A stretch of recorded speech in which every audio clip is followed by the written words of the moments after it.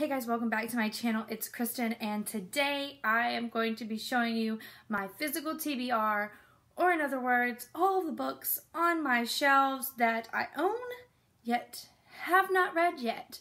Um, so I'm just going to go, I think, row by row and just show you guys what I have on my shelves that I haven't read that I hope to read eventually and we'll see how many it comes out to. so let's get started. We're gonna start with this stack that came from the first shelf, two shelves. So on the in this stack, I have um, the Bourne Identity and Bourne Ultimatum. There is another Bourne one around here somewhere. These are actually my husband's, but um, I do think they'd be interesting reads. I have not watched the movies. Do not shoot me. I don't know what they're about exactly, but I have heard the books are good, so those are on my list. Then I have The Rule of Thought. This one seems like this is number two in the Mortality Doctrine series. So I don't know if he has number one or not. So you're going to find that a lot of these are my husband's, but I still want to read them because he has good taste. So I actually have no idea what this is about, but I would like to read it because I liked the Maze Runner movie. Have not read the book. Alright, next we have The Serpent's Shadow from Rick Riordan, and I already said that I have plans this summer to go back and read um, all of the books from those two series that are in that world um, that Percy Jackson world. So um, I know this one I think is in this is the second series, and this is book three. Yeah, book three in that second series. So yes, I have already stated we'll be reading these. So um, I will be mentioning all the rest of the ones that I do have because they're on the shelf. But yeah, so the next one I have is The Martian, which I thought was an okay movie. Husband says the book is better. So which is normally the case. So I'm going to give it a shot. Wasn't super huge fan of the Martian movie. If I remember correctly, I did not like the way it ended. But I'm not very good at remembering things. Next, I have Little House on the Prairie, and I know that I should have read this before. And I feel like maybe I did when I was like itty bitty, but I cannot remember, so we're just going to treat it as if I haven't read it. So yeah, the Little House on the Prairie.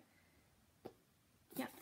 All right, and then this one, War and Peace. I totally thought about trying to like read along with the Audible book because I thought it might help me, but I could not find the exact translation that we have. But this book is insanely huge. Insanely huge. Like, I mean, the back has a lot of like extra stuff in it. But like if we include the epilogue, it has like 1300 something pages. so at some point in my life, I would like to read this. I would like to say I have read this. I would like to read it and understand it. But when and if that happens, I'm not sure. Not sure. okay, next I have the Red Pyramid, which is the first of that series that I already talked about with Rick Riordan. And then I have Walk Two Moons, which is a book that I have heard a lot about from teachers. And um, I had started this list of like 100 like children's book chapter books that everybody should read and I tried to get through all 100 and this was on it and I didn't get through all 100 so um like I went through and was like buying them like crazy. Like I got this one for like a dollar but um haven't read it yet but I've heard that it is really good. Then I already mentioned The Maze Runner that I hadn't read it um so I would like to read The Maze Runner. I did enjoy this movie. I haven't seen the other ones or I think I might have seen the other is, is there one or two more after it and then i just didn't remember what happened in the previous ones and my husband's like all into it and i'm like i don't understand what's happening So maybe if I read the books. And then there's also The Death Cure, which is um, the third in the series. Sorry I'm not going in order of the series. I'm really anal and I don't want to mess up my bookshelves, so I'm just going in order of my shelves because I don't have time to put it all back like at the very end and like figure out where they're supposed to go. So sorry if I keep going back and forth to different series. Like, I, sorry. I guess I should have thought it through a little bit more. Me, who cares? All right, the next one is The Young Elites by Marie Lu. I have not read any of Marie Lu's things, um, books, but I have heard really good things about them. And this one has been on my shelf, and I would like to read it. And next is Eleven Thumps. I don't know. I haven't heard a whole lot about this. Um, it was another one on that like 100 list, I think. And um, this is the first in a series, so maybe if I like it, I will continue it. So the next stack is really big. So first we have The Witch of Blackbird Pond, another from that 100 books. Um, I th think I might have started this one and just didn't finish it. Um, this one is another like middle schoolish uh, type book and a classic. So, um, what I want to read. Then we also have The Bourne Legacy, another in the um, Bourne Identity series. And then The Golden Compass. I know I started this one and I don't know why I did not finish it. I think I was really close to finishing it. I don't know what happened. So, um, I don't know. Sorry about the noise in the background. My trash, the trash truck decided it was gonna come, like now, and it's like midday. And normally come at six in the morning and wake me up. So, I don't know. So, Golden Compass. No, that one's a good one. Dragon Rider, another one that I started and did not finish. This is becoming quite the um, trend. I don't know why. Um, this one took me a little bit. I don't actually know if I will read through this one. I thought it was going to be good, and it, and it didn't catch my attention, but I didn't get very far, so maybe I'll give it another go. Then The Eye of Minds, which is the first in that The Rule of Thoughts. This is the first one. The Rule of Thoughts is the sequel in that book, in this series. Sorry. Where the Mountain Meets the Moon. This was um a really good one and was suggested to me when I taught in Hawaii, and I just never got around to reading it. I I did pick it up, but I just never got around to reading it. Um, so another classic that I should probably get around to reading. Uh, the Time Travelers, which is book one in a series, as well. Another one of those middle school books. I think this one might have been on that list, not 100% sure. Um, I know I went through a phase where there was this really cool used bookstore when I lived in Hawaii and I would go there and like I know this one was a dollar and I would just pick up all these books and then a bunch of them I never got around to reading so you're gonna see those. Next we have Marie Lu's Warcross. This one is on um, a TBR for I want to get it done this summer. So this one hopefully I will be reading soon. I haven't had this one very long so yes. And then we have the Lost Hero, uh, Rick Riordan, and then um, The Thing About Jellyfish. One of my friends said it was a cute book. I just picked this one up on a on a whim because it was cheap at a at a thrift store and I'm one of those suckers who sees a book that looks like I'd like it, I pick it up. So this is another one of those like middle school, upper elementary type books. Next um on the list is Bud Not Buddy, which is about um, this boy and then he goes through during the Great Depression. Um, is it is a classic. It won the um, the John Newbery, so it won the Newbery Medal, and it also won um, the Coretta Scott King Award. Um, so, which is neat. So that's another one that was on that 100 list. Then House of Hades, which is from Rick Riordan. Then we have um, Graduation Day. I think this is in a series, but I'm not 100% sure. This is another one my husband has. Um, so I don't even know really what this is about. Um, the final test is, oh, it says, duh, says the book three of the testing series. The final test is the deadliest. So this is book three. So this is the last in the trilogy. I'm sure my husband has the other one on the other ones on the shelf, but this one looks like it'd be an interesting read as well.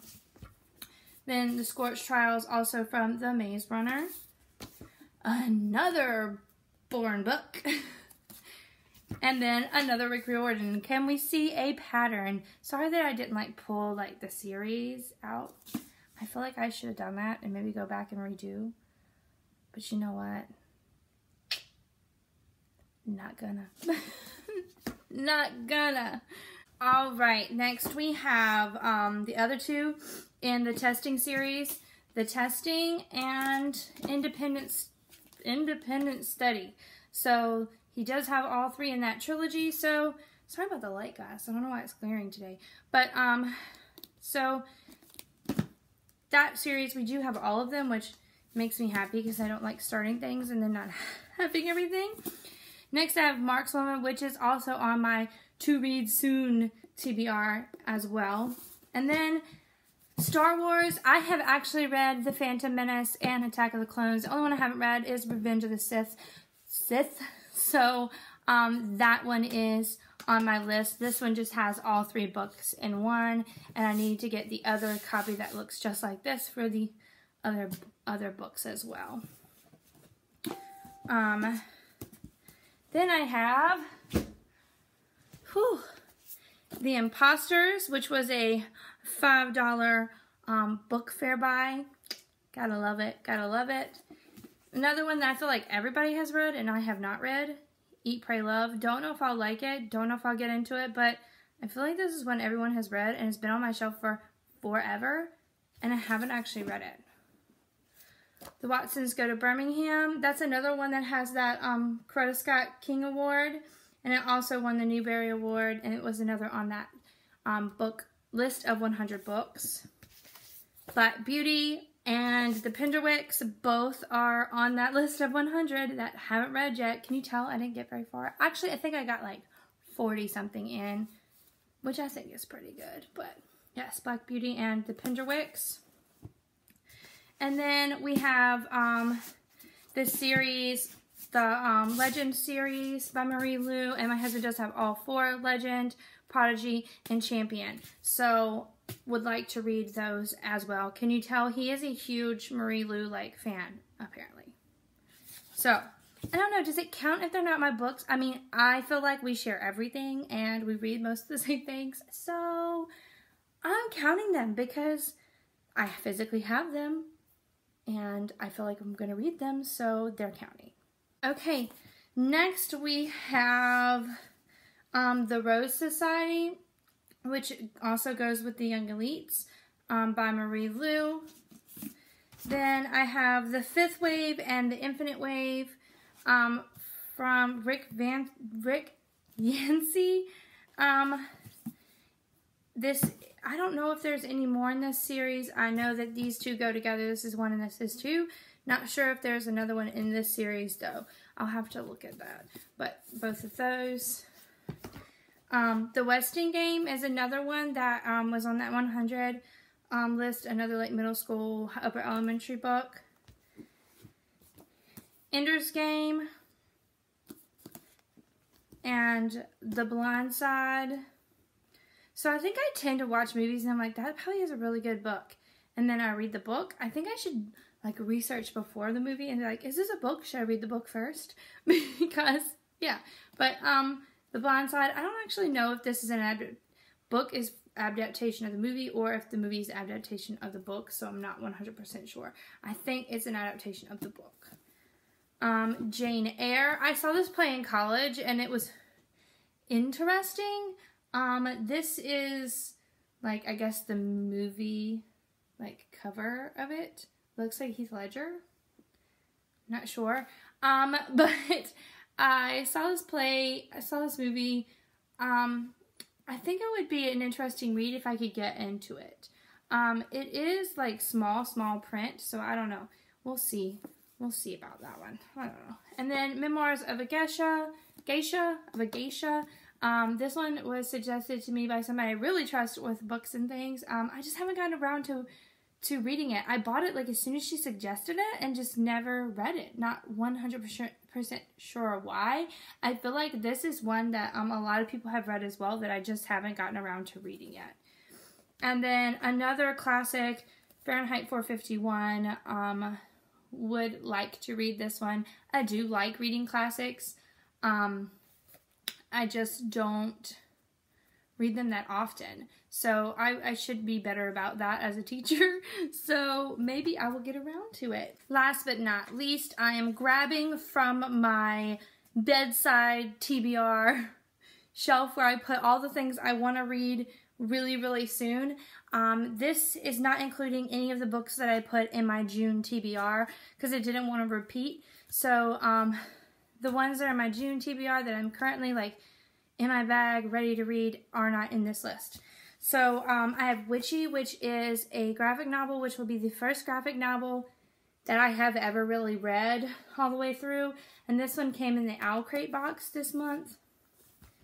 Then I have Love and War, which is the second in the um, Alex and Eliza series. And I already talked about um, how much I loved Alex and Eliza, so I'm excited about this one. The Knockout Queen.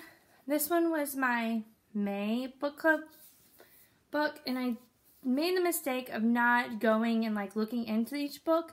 And I'm not sure this is going to be one that I can get into. I'm not super excited to read it, but I'm going to try it and see um, if I can get into it, if I like it. Um, I have learned my lesson, and from now on, I will be like looking into each book um, more than just that little bitty synopsis that book club, book of the month club gives. So that is one on my list, but not super excited about it, but I'll make it to it. And then Incendiary, this one came in the April FairyLoot box. Um, also came in the OwlCrate uh, May box. This one seems really, really interesting. It seems like a great read, and I'm excited about this one. And then lastly, we have The Last Flight, which was my June Book of the Month Club book. And this one is a thriller, and it sounds like a thriller. I am so excited for this one. Um, so excited. I don't know if anybody else struggles with trying to figure out what order you're going to read books in, but I struggle so much. And I got this one and like I already have really good books on my TBR and like on my bedside table. And I'm like, oh my gosh, like when should I read this one? And then, guys, I'm so dumb. Like, I ordered two more books today, and then I got three more from the library. So, the struggle is real. I know, it's stupid, but it is a struggle. So, but anyways, that is the end of my physical TBR, all the books that I have that I would like to read. And admittedly, there are some on the shelf that I skipped because they are my husband's and they don't look interesting at all and I'm not going to touch them. So there are still other books on my shelves that I haven't read, but not going to read them because I don't, they don't look interesting. So, so yeah. So if I can add correctly, which is completely possible that I didn't, but um, I have 55 physical books that I haven't read yet that I'm planning on reading there on my TBR. So not too bad. I mean, like that it could have been worse. Um, I need to up my reading. I said I was going to be so much better in June, and I am not. Not. I've been watching a lot of TV. We moved, I got a new TV for downstairs, so I moved the big TV into my room, and now, like, I've gone through three series, complete Netflix series since I moved the TV. So, need to be better. Will be better, I promise. So, I don't know. Tell me if you've read any of these. Let me know. Should I skip them? Should I bump them up to the bedside table where all of my reads are that I want to read really, really soon? Let me know in the comments below. And hope you made it through this video, with me. Have a great day.